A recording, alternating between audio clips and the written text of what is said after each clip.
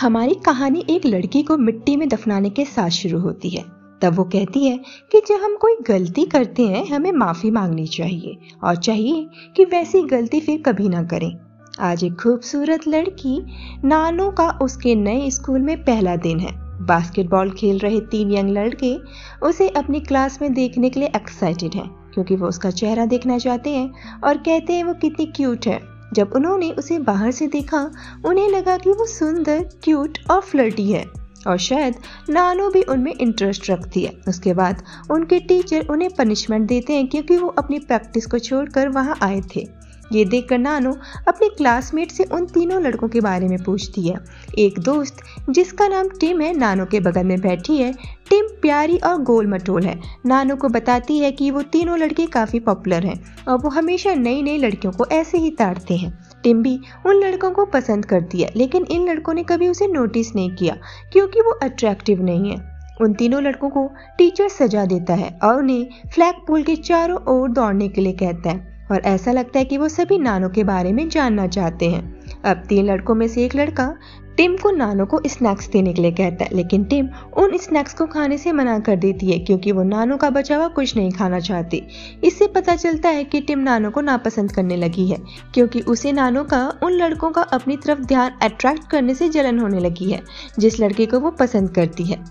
कुछ देर बाद तीनों लड़के नानो के दोस्तों के लिए दो कॉन्सर्ट की टिकट देते हैं, ताकि वो नानो को अपने साथ उनके घर पर ला सके, क्योंकि उनके पेरेंट्स काम के सिलसिले में बाहर गए हैं।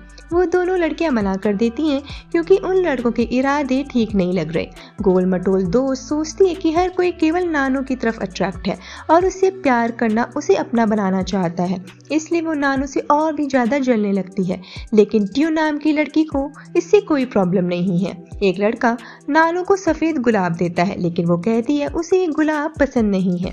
ये सुनकर उसकी फ्रेंड सबको एक मैसेज भेजना शुरू कर देती है नानो के बारे में। कि वो कितना दिखावा कर रही है, वो बस फ्लर्ट करना चाहती है, तीनों लड़कों के साथ।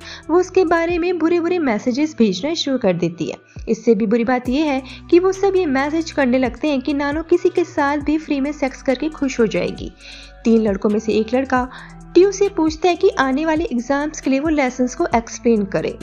लेकिन वो लड़का नानो को देखने में दिलचस्पी लेता है, जिससे ताऊ नाराज़ हो जाती है और गुस्से से कमरे से बाहर टॉयलेट में रोने चली जाती है। ट्यू नानो के लिए बहुत गुस्से में है और उसे नानो से जलन होने लगती है क्योंकि उसका क्रश उसकी तरफ़ अट्रैक्ट हो रहा है। वहाँ वो टिम से कहती है कि वो नानो को उन लड़कों के घर पर ले जाएगी जहाँ वो उसे ड्रिंक कराएँगे। छोटी सी पार्टी के दौरान सभी लड़के शराब पी रहे होते हैं। पागलों की तरह और नशे में धुत हो जाते हैं, लेकिन नानो ऐसे पी रही है जैसे वो पानी पी रही हो। वो नॉर्मल रहती है। उन दो लड़कियों ने नानो को बेहोश करने के लिए उसे नींद की गोली देने का प्लान बनाया।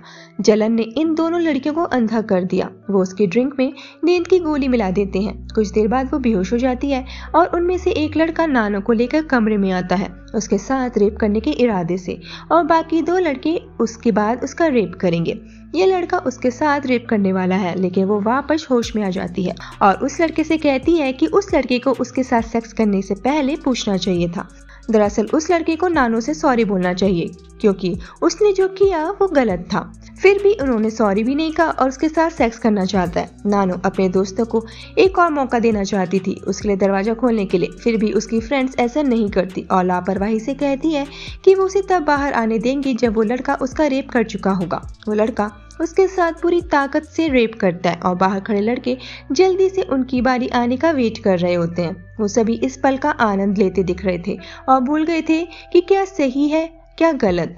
नानो के साथ रेप के दौरान वो आनंद लेने लगा। फिर नानो चिल्लाती है और पागलों की तरह हंसती है। उसकी आवाज़ दबाने के लिए वो लड़का उसका गला दबाने लगता है और धमघुटने से नानो मर जाती है। अब लड़का उसकी खामोशी से इतना डर गया था कि उसने सभी को अंदर आने को कहा और हर कोई सदमे में था, लेकिन कोई प्लानिंग नहीं कर रहा था।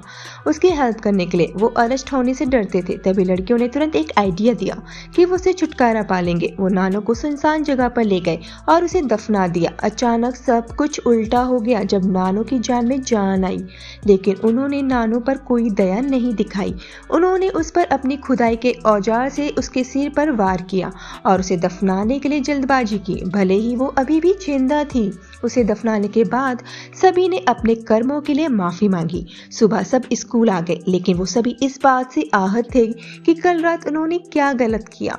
रस्म तरीके से नानू हमेशा की तरह स्कूल आती है, उसके दोस्तों को झटका देती है, लेकिन वो नानू से बात नहीं करते, क्योंकि उन्हें लगता है वो नानू नहीं है।